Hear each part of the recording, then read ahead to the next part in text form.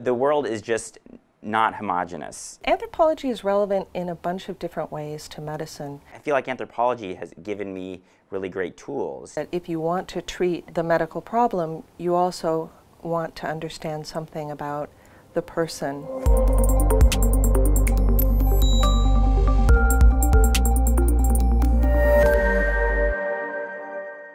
It's been true for a long time that medical school admissions committees have recognized anthropology as a useful training. When the effort to solve a health problem doesn't work, right? When people don't follow the medical regimen of care, when they don't show up for appointments, when they don't take their medicine. Um, the, the question that medicine often asks is, why don't they? Sometimes anthropology can help answer that question. One of the groups I got to know that I spent a lot of time in and I learned a lot from was an association of people living with HIV. I remember this one day people talked about that the treatment made them hungry.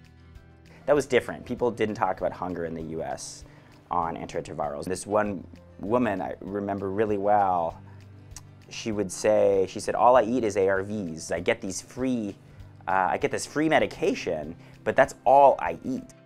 And I sort of just kind of blew it off at first. I was like, oh, sure, it's a poor area, people are hungry. But then as I was right back to my advisors, you know, in the US, they'd be like, hunger with, with AIDS treatment?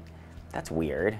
This is where an anthropological, I think, perspective helped me. What they really wanted was material assistance. And it's, it's, it, just, it just felt like this big blind spot. I think now there's much more awareness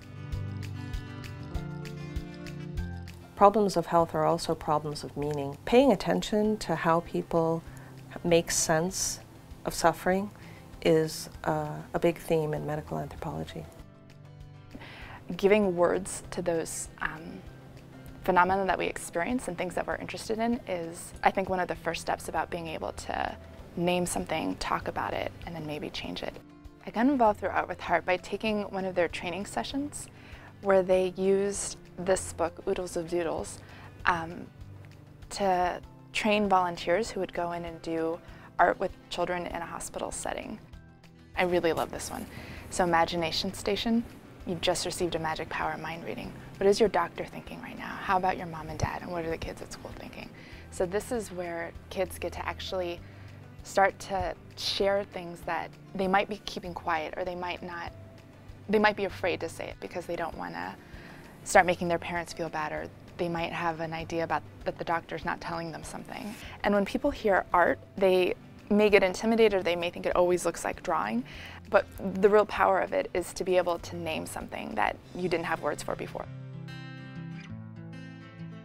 One reason to study anthropology is that it's fascinating, it's eye-opening. What could be more interesting than people? A lot of what anthropology yields is surprising insights, things you never imagined. You ask questions about people and they will surprise you.